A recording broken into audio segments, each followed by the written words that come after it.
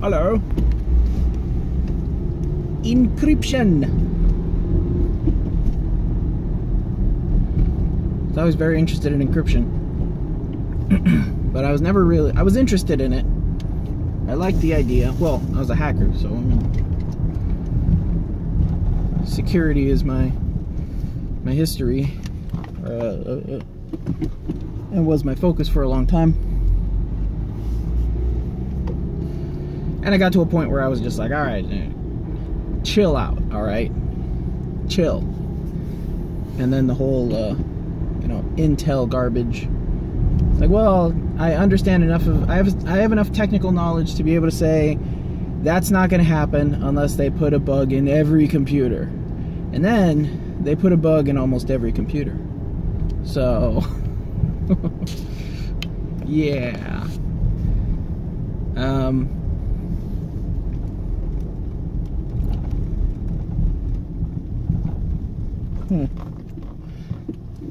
See the the even when I was a kid, like my dad and I would we'd go into a bank and be like, all right, how do you rob this bank?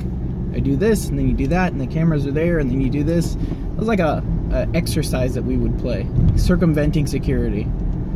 So it was always kind of kind of of interest to me. My dad was a cop, so he was he was always thinking about this stuff. Anyways, maybe I got it from him. Uh, but that was my first uh, my first real gig was uh, doing penetration testing for uh, the first company I worked for, and uh,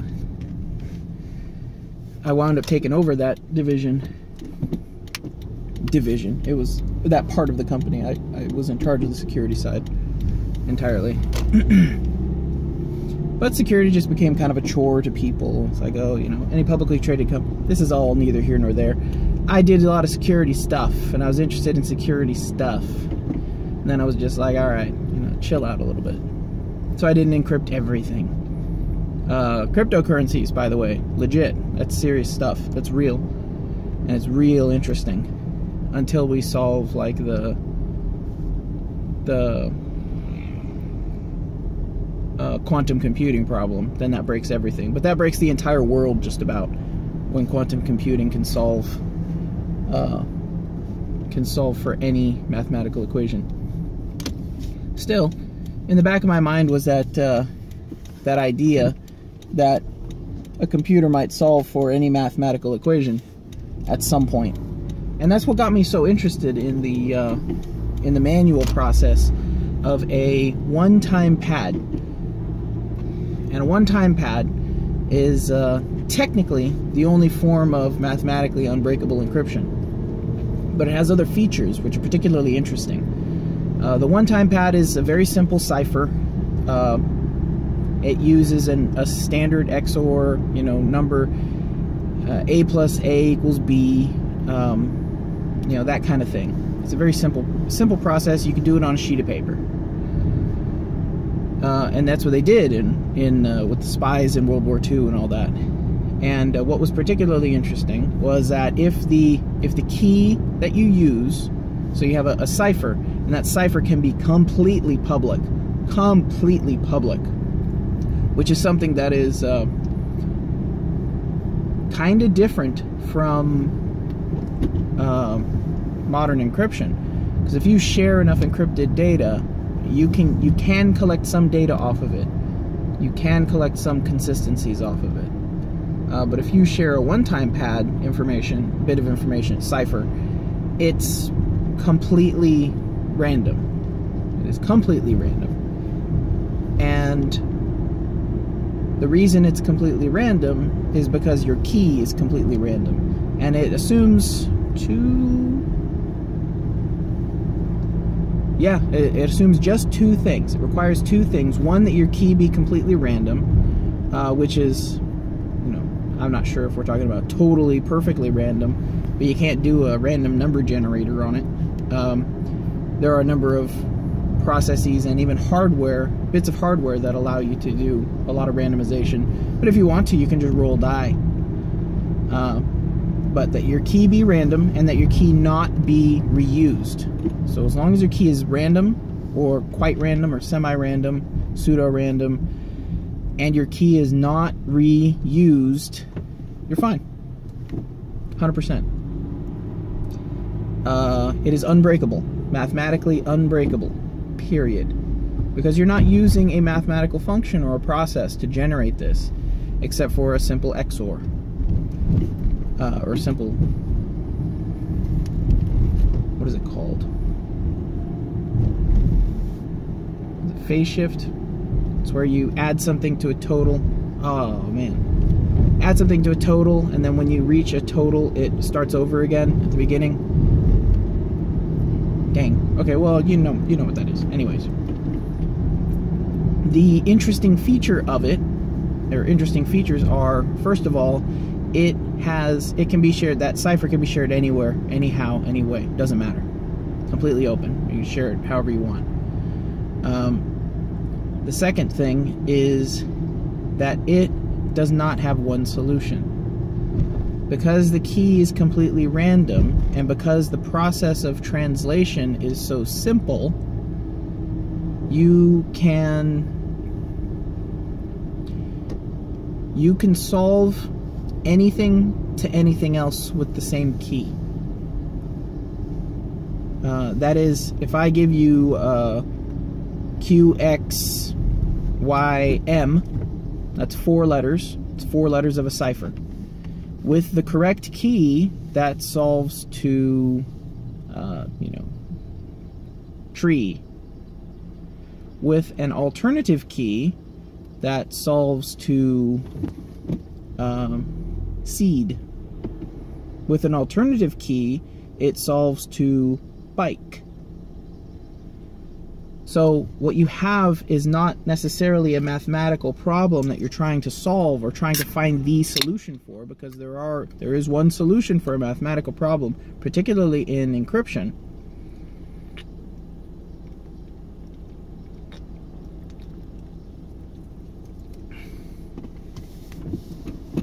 You're trying to figure out which is the correct one.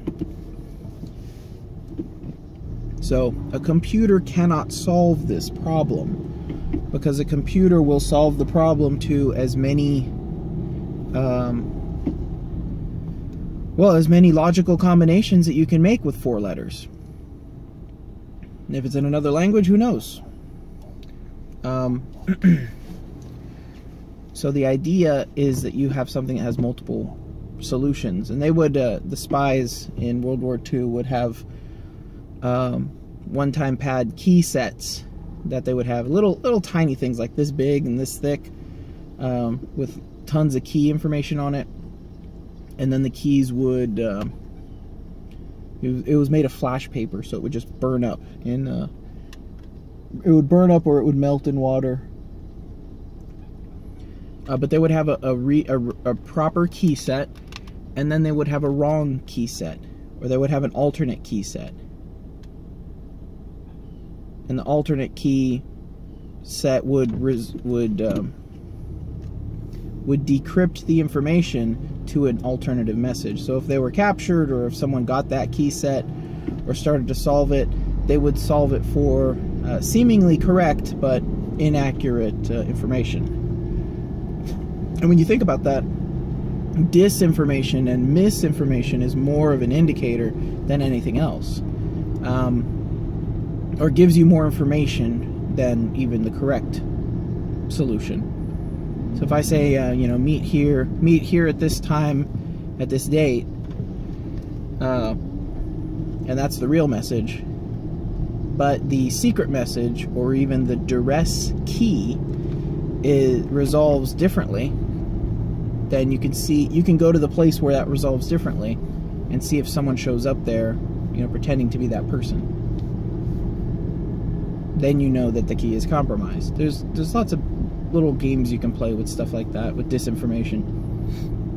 But the point is, a computer can't solve for it because you're not reusing the same key, and the thing you use to generate the keys uh, is random, or is you know, pseudo-random.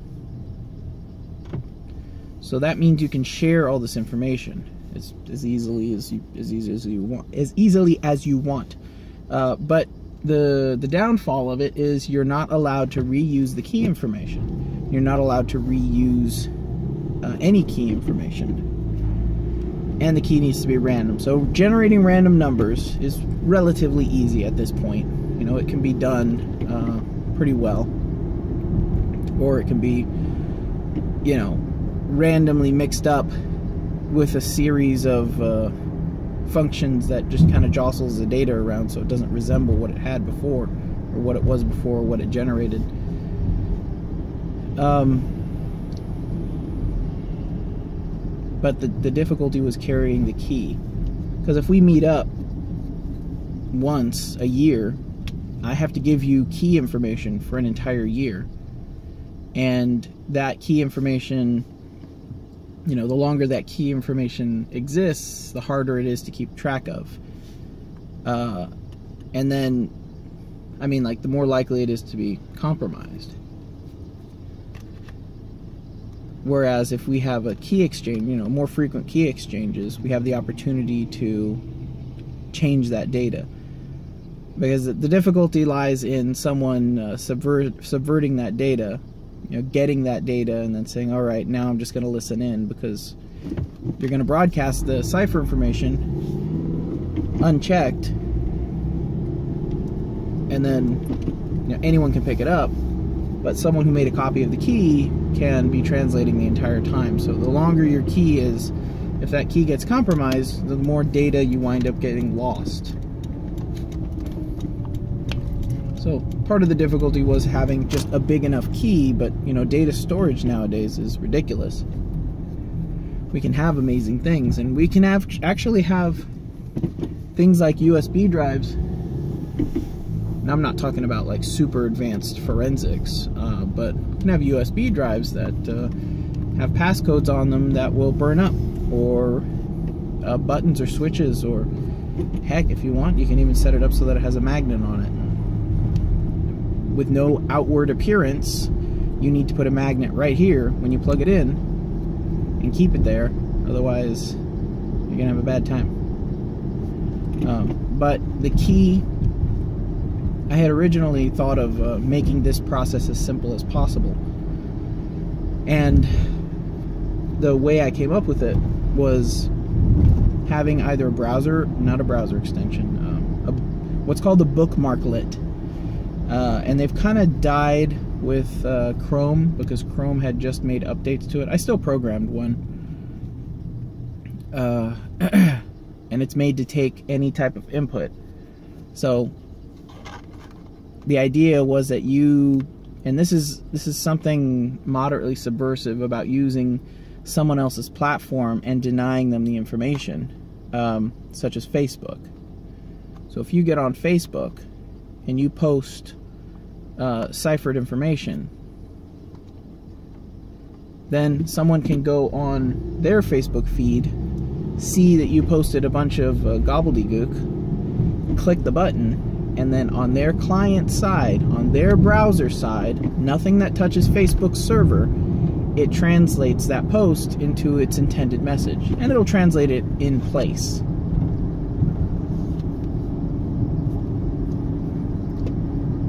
Can even do it with pictures. I have tried this.